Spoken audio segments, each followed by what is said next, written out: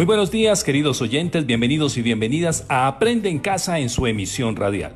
Este es un programa producido y dirigido por la Secretaría de Educación del Distrito.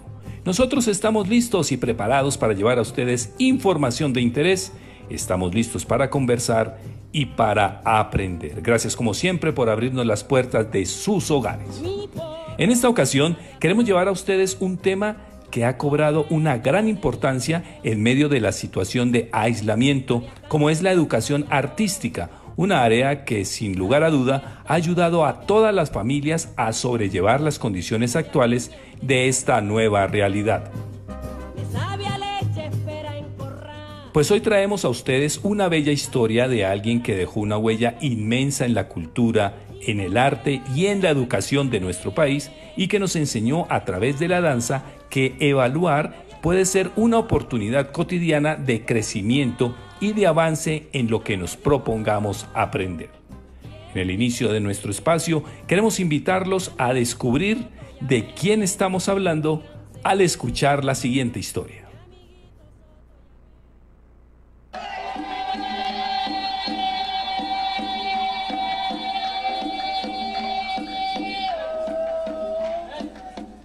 Bienvenidos a este relato sonoro por la vida de de un personaje que quiero que ustedes mismos descubran con la historia y los sonidos que vamos a escuchar.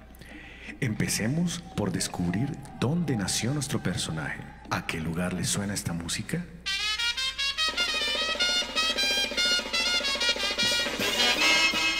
Esto es una banda de vientos de la costa norte de Colombia y se relaciona con nuestro personaje, quien nació en 1926 en Lorica, Córdoba. Desde que tuvo un año de edad, su familia se trasladó a vivir a Cartagena. ¿Se pueden imaginar cómo podía ser el ambiente de Cartagena hacia 1930? Escuchemos lo que dice nuestro personaje sobre su infancia. Fuera de eso, en Cartagena es tradicional por los carnavales y todo uno esté practicando danza yo desde niña estuve metida en esa trayectoria, en el barrio. Pues ya sabemos que es una mujer. ¿Se imaginan cómo era ella físicamente? Fue una mujer negra que creció entre la danza y el teatro, medio en el cual su padre trabajaba en Cartagena en la época del cine mudo. ¿Pueden creer que en esta época a las mujeres no se les permitía estudiar en el bachillerato? Extraño, ¿verdad? Pues fue tanta la insistencia de su padre que el Ministerio de Educación tuvo que emitir una resolución y nuestro personaje fue una de las primeras mujeres que pudieron estudiar el bachillerato en la Universidad de Cartagena. Y una vez terminado su bachillerato, navegando en barco por el río Magdalena, llegó hasta Bogotá para estudiar Bellas Artes en la Universidad Nacional de Colombia, donde se convirtió en escultora. Pero a pesar de estar en este medio académico, nunca abandonó su espíritu festivo y costeño y organizaba empanadas bailables con música de la costa. Su amor y habilidad para el baile la llevó más adelante a conformar y dirigir un grupo de danza que en alguna oportunidad vio el director del Teatro Colón, un escenario que hasta entonces estuvo dedicado a la ópera y a las tradiciones europeas. El director le propuso presentarse con su grupo en el teatro con una única condición, que ella fuera la bailarina principal.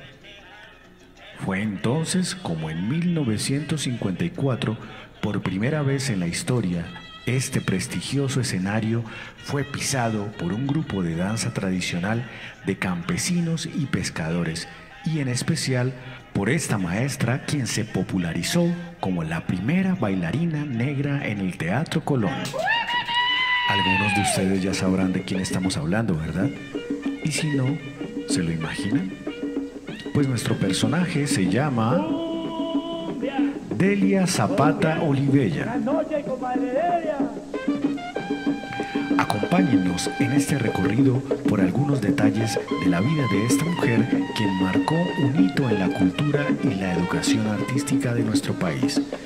bienvenidos y estén muy pendientes porque esta historia continuará. El audio que acabamos de escuchar corresponde a la primera de tres partes que estaremos llevando a todos ustedes sobre la vida de Delia Zapata Olivella y sus enseñanzas en las múltiples dimensiones de la educación y del ser humano. Para hoy tendremos a dos invitados que fueron muy cercanos a la maestra Delia. Se trata de Edelmira Maza Zapata, su hija, bailarina e investigadora y heredera del legado de su madre. También estaremos conversando con Fernando Páez, uno de sus más cercanos discípulos y amigo de la maestra Delia Zapata.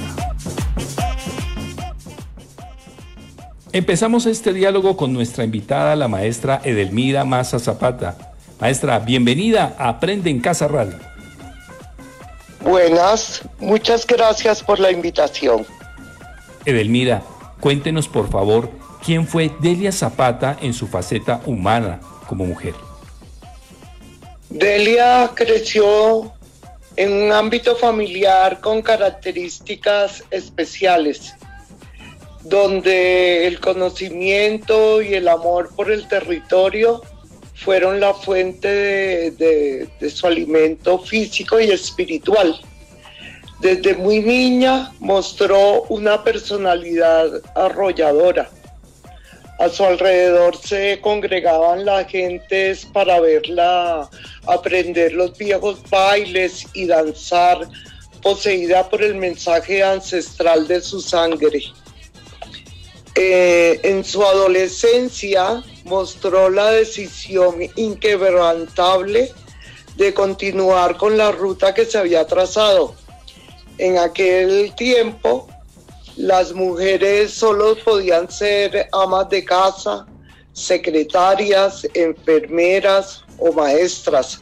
Y ella se negó rotundamente a seguir este camino y decidió ir a la universidad. Rompió con varios esquemas en Cartagena cuando eh, luchó por terminar el bachillerato para poder seguir esta, este carrera universitaria. Entonces, eh, se puso pues a buscar un nuevo futuro sin condicionamientos ni ataduras. En esta época para una mujer y además negra, esto suponía una ruptura con el medio.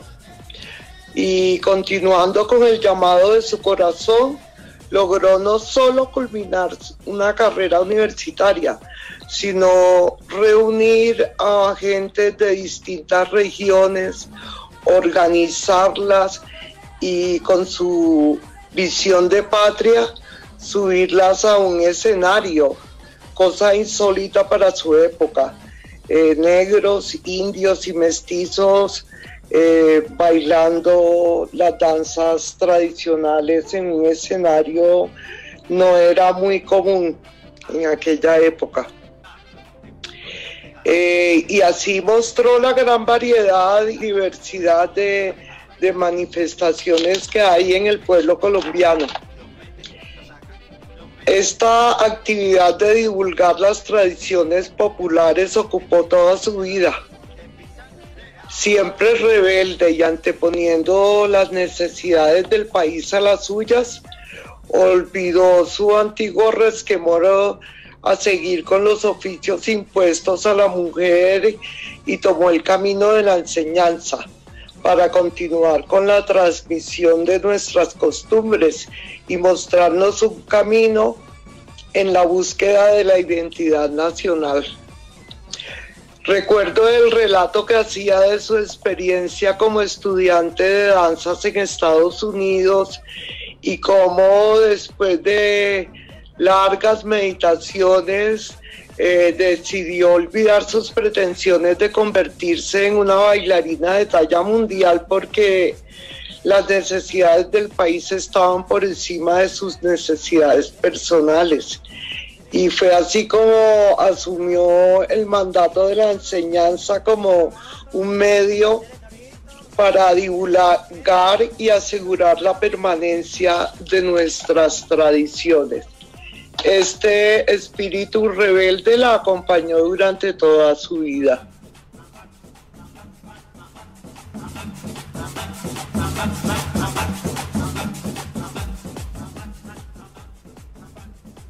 ¿Cuál es para usted el principal legado de Delia Zapata en el país y en el mundo, en especial en materia educativa? Delia, al elegir el camino de la docencia, se esmeró como maestra en la transmisión de su mensaje. No solo investigó y estudió el comportamiento de las diferencias regionales, sino que buscó, encontró y plasmó en sus creaciones lo que nos identifica y nos une como pueblo. Y de igual manera se esmeró en la transmisión de este conocimiento. Entonces así creó un método para la enseñanza de las tradiciones colombianas. Es una metodología única en su género que permite a todo colombiano interpretar las danzas y costumbres de las distintas regiones colombianas. Esta metodología que se fundamenta en el conocimiento del cuerpo y el trabajo minucioso de las partes del cuerpo sobre una base rítmica permite la conciencia de nuestra naturaleza como seres vivos y pensantes y crea vínculos con el territorio que no solo alegran el corazón, sino que se constituyen en una fuente de salud y bienestar para nuestro cuerpo y para nuestro espíritu.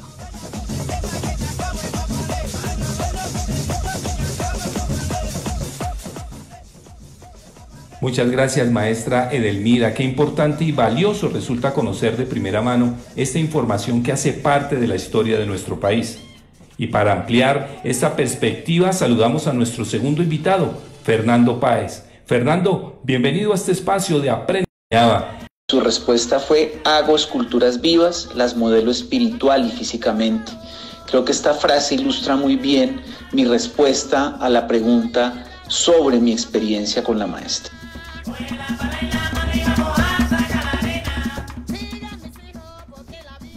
Fernando, quisiéramos saber también en el marco de la situación de aislamiento que vivimos actualmente, porque nos preguntamos cómo evaluar los aprendizajes y para qué evaluarlos. Por ello quisiéramos que nos cuente cómo era la maestra Delia cuando aconsejaba o cuando se desarrollaban las retroalimentaciones después de los procesos o los trabajos, cómo era esa forma de evaluar de la maestra Delia Zapata para que sus pupilos pudieran avanzar y qué sentido le daba ella a esta evaluación.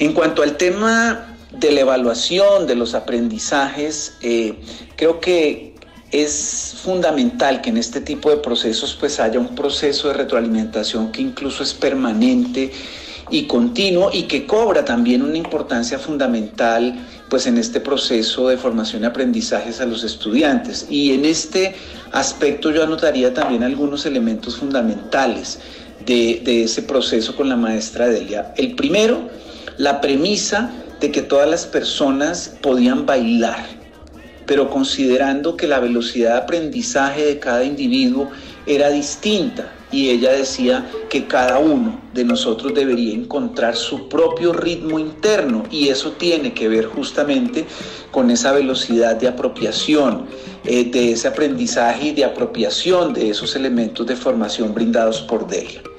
Ahora, el proceso evaluativo eh, no estaba asociado simplemente a una asignación numérica del desempeño, que incluso más allá de una calificación puede generar una descalificación, sino que estaba asociado justamente a esa velocidad de aprendizaje que permitía ubicar un rol de cada estudiante, de cada alumno dentro de esa puesta en escena y que ese rol pues variara en función de ese avance del proceso de aprendizaje. Yo creo que esto es un gran elemento y un gran elemento a tener en cuenta en procesos de evaluación en estos temas de enseñanza y aprendizaje. Y lo último y muy importante en el marco de la evaluación y la retroalimentación es generar en los alumnos ese reto y motivación para avanzar hacia niveles superiores y lograr roles diferentes, no más o menos importantes, pero roles diferentes en esos espacios colectivos, pero siempre en el marco del respeto por la esencia individual y las sensaciones y motivaciones asociadas a esta. Con esto yo ilustraría un poco mi respuesta alrededor de lo que tiene que ver con la evaluación y, retroalimentación realizada por la maestra en los procesos de enseñanza.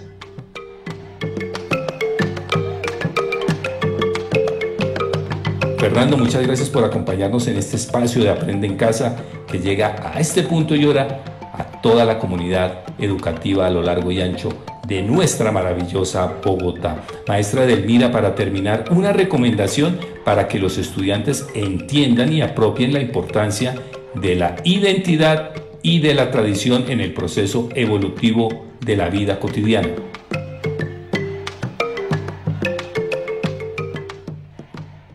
Me parece muy importante que en las familias se asuma el reto de conocer nuestro propio territorio, de conocer nuestras músicas, nuestras distintas manifestaciones y no solo conocerlas, sino vivenciarlas, recrearlas y gozarlas a nivel familiar. El niño que crece en una familia donde se le enseña el amor por su tierra y sus costumbres es una persona completamente distinta a la persona que crece desarraigada, de que no tiene un vínculo que lo ate a nada eh, sino a costumbres foráneas, pues es un pensamiento también distinto. Entonces la forma en que eh, de, alguna, de alguna manera en la familia se integre esa lúdica de gozar de la historia de su propia tierra, es, es, muy importante desarrollar esto en los niños y que los padres puedan compartir con sus hijos las historias de su pueblo.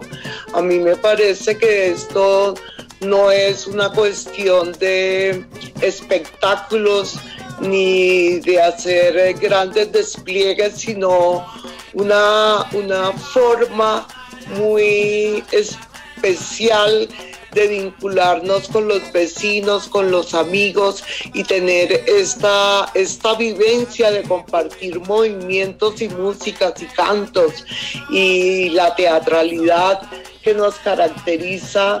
Eh, hacerlo juntos con las familias y con los amigos es, es de vital importancia para la permanencia de la cultura del pueblo colombiano.